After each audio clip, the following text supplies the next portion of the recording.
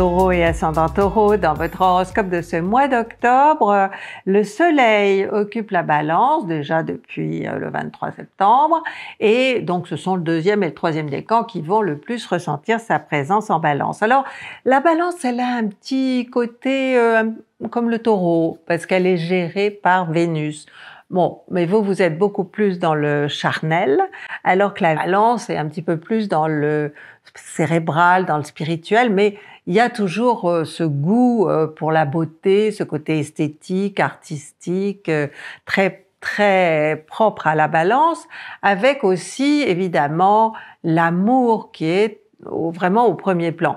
Mais c'est pas forcément l'amour qu'on a pour l'autre, ça peut être ça, hein. mais c'est l'amour, comment dire, le, du plaisir que l'on met à faire hein, euh, ce qu'on a envie de faire. Donc il y aura euh, du plaisir dans vos activités. après le 23, le soleil occupera le scorpion, votre deuxième euh, secteur, hein, puisqu'il suit euh, immédiatement euh, votre signe, et c'est un secteur d'argent, de possession, d'acquisition, conservateur. donc, alors, est-ce que vous allez vouloir faire des économies? Est-ce que vous allez au contraire acheter, dépenser? Parce que, bon, pour des choses utiles, hein, je dis pas que vous allez jeter l'argent par les fenêtres, surtout que Euh, on sera en scorpion et que le scorpion, il a quand même... Euh, euh, c'est un signe fixe, hein, c'est pas du tout, il n'est pas dans la dispersion. Donc, si vous voulez, vous allez certainement avoir une dépense à faire, hein, ça c'est sûr. Du côté des activités, eh bien Mars est aussi en balance en début de mois. Hein, elle va changer de signe le 12. Euh, elle est dans le troisième décan de la balance. Donc, euh, bon, pour vous taureau, il y a probablement plus de travail euh, que d'habitude. Vous êtes un petit peu la tête sous l'eau, on va dire. Hein, mais bon, ça va pas durer. Ce n'est que l'affaire de quelques jours. À partir du 12, eh bien Mars va rentrer en Scorpion et là, ça va être un petit peu plus compliqué pour euh, vous, amis Taureau, euh, dans la mesure euh, où elle s'oppose à vous, hein, premier, deuxième décan. Elle s'oppose, ça veut dire que bon, forcément, quelqu'un s'oppose à vous ou c'est vous qui allez vous opposer à quelqu'un. Mais Mars étant dans votre secteur 7, il faut prendre des gants, il faut y aller vraiment en douceur, enfin essayer d'y aller en douceur si vous avez quelque chose à réclamer ou à demander ou si vous n'êtes pas content après quelqu'un. Maintenant, si c'est ça vient de l'autre, euh, de quelqu'un à l'extérieur, euh, bon, soit la personne euh, est de mauvaise humeur, c'est votre conjoint par exemple, pendant quelques jours, il n'est pas de très bonne humeur. Euh, pareil avec votre boss, hein, si vous travaillez.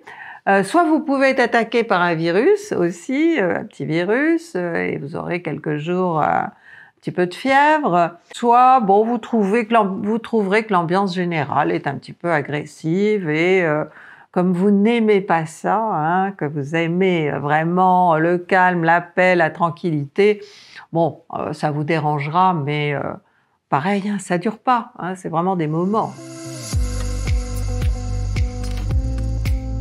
Côté cœur, eh bien enfin Vénus va changer de signe, elle quitte le lion où elle était depuis le mois de juin et elle entre le 5, le 9, pardon, en Vierge.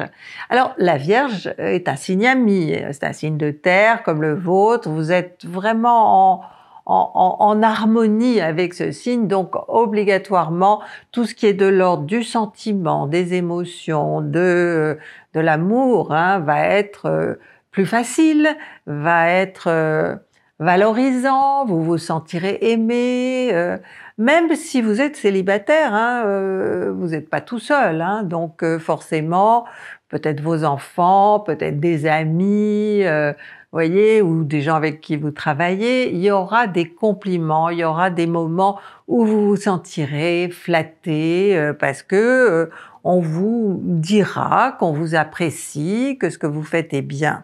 Maintenant, si vous êtes amoureux, bien évidemment, votre chéri sera beaucoup plus démonstratif à sa manière, hein, parce que la Vénus en Vierge, elle est quand même assez réservée, elle est très cérébrale.